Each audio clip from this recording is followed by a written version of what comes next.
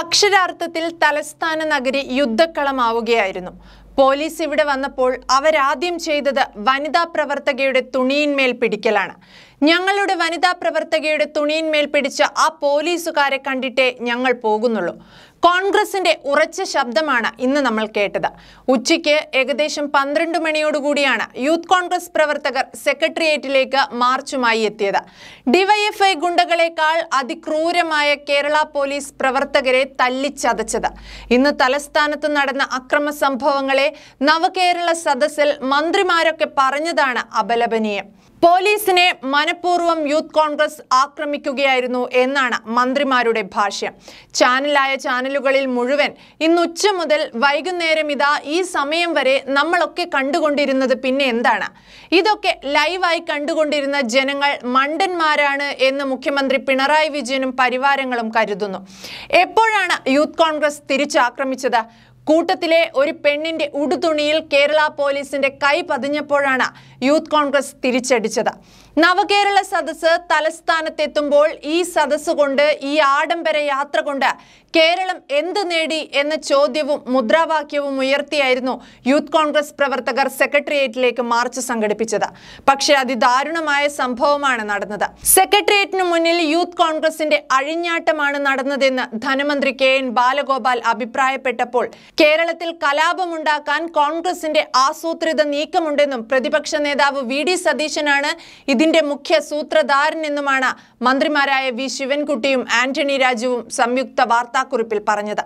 ഉമ്മൻചാണ്ടിയുടെ ജനസമ്പർക്ക പരിപാടിക്കെതിരെ എതിരഭിപ്രായമുണ്ടായിട്ടും എൽ ഡി എഫ് പരസ്യ പ്രതിഷേധത്തിലേക്ക് പോയില്ലല്ലോ എന്ന് ചൂണ്ടിക്കാട്ടിയ ബാലഗോപാൽ മന്ത്രിമാരും മുഖ്യമന്ത്രിയും ജനങ്ങൾക്കടുത്തേക്ക് പോകേണ്ട എന്നാണോ പ്രതിപക്ഷം പറയുന്നതെന്നും ചോദിച്ചു. കേരളത്തിലെമ്പാടും കലാപമുണ്ടാക്കാൻ കോൺഗ്രസിന്റെ ആസൂത്രിത നീക്കമുണ്ട്. പ്രതിപക്ഷ നേതാവ് വി. ഡി. സതീശനാണ് മുഖ്യ സൂത്രധാരൻ.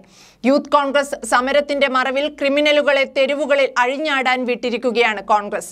ലക്ഷക്കണക്കിന് രൂപയുടെ നഷ്ടമാണ് പൊതുമുതൽ നശിപ്പിച്ചതിലൂടെ പൊതുഖജനാവിന് ഉണ്ടാക്കിയിരിക്കുന്നത്. നവകേരള സദസ്സിന്റെ വൻ വിജയം കോൺഗ്രസ് നേതാക്കളുടെ സമനില തെറ്റിച്ചിരിക്കുകയാണ്. എന്നാണ് വി. ശിവൻകുട്ടിയുടെ വാദം.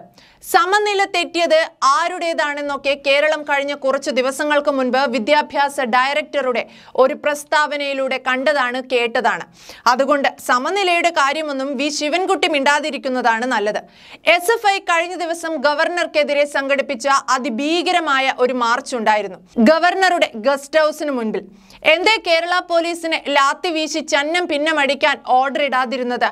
അന്ന് ഉത്തരവിറക്കാൻ രാജാവിന്റെയും പരിവാരങ്ങളുടെയും നാവ് ഇറങ്ങിപ്പോയതാണ് അതേ നാവ് കൊണ്ട് ഇന്ന് യൂത്ത് കോൺഗ്രസുകാരുടെ മേൽ കേരള പോലീസിനെ വിട്ട് അക്രമം നടത്തിയ സാഹചര്യം ഏത് രാഷ്ട്രീയത്തിന്റെ പിൻബലത്തിലാണെന്നും മുഖ്യമന്ത്രി പിണറായി വിജയനും മന്ത്രിമാരും വ്യക്തമാക്കേണ്ടതുണ്ട്.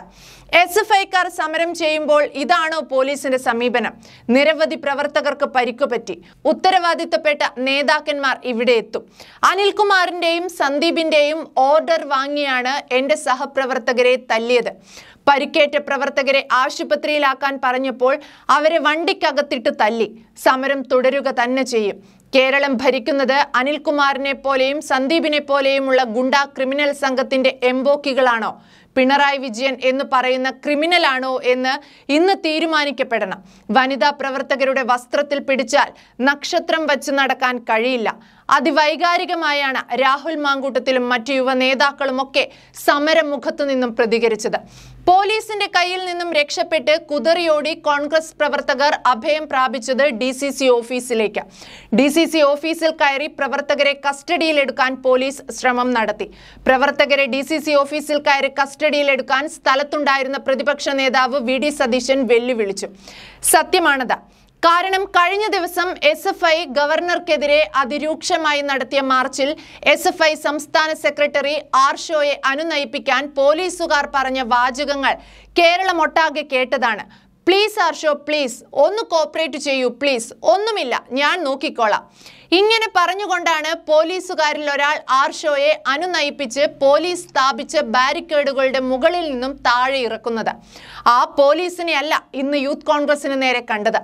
യൂത്ത് കോൺഗ്രസ് പ്രവർത്തകർ റോഡിൽ തല്ലുവാങ്ങുമ്പോൾ കയ്യും കെട്ടി നോക്കിയിരിക്കുന്ന ഒരു നേതൃത്വം ഇല്ലായിരുന്നു എന്നതാണ് കോൺഗ്രസിന്റെ ഇന്നത്തെ പ്രതിഷേധ സമരത്തെ കൂടുതൽ വേറിട്ടതാക്കുന്നത്. പ്രവർത്തകർക്കൊപ്പം പ്രവർത്തകർക്ക് വേണ്ടി പോലീസിനോട് സംസാരിക്കാനും തർക്കിക്കാനും വി ഡി സതീശൻ മുൻപന്തിയിലുണ്ടായിരുന്നു. വലിയ പ്രതിഷേധ സമരങ്ങൾ സംഘടിപ്പിച്ചും സർക്കാരിനെതിരെ കൃത്യമായി ഉന്നം വച്ച് ആസൂത്രണം ചെയ്ത് ഇന്നത്തെ പ്രതിഷേധ സമരത്തെ ഉൾപ്പെടെ വിജയം കാണിക്കാനും കോൺഗ്രസ് കാണിക്കുന്ന ആത്മധൈര്യം തന്നെയാണ് കേരളത്തിന്റെ പുതിയ പ്രതീക്ഷകൾ.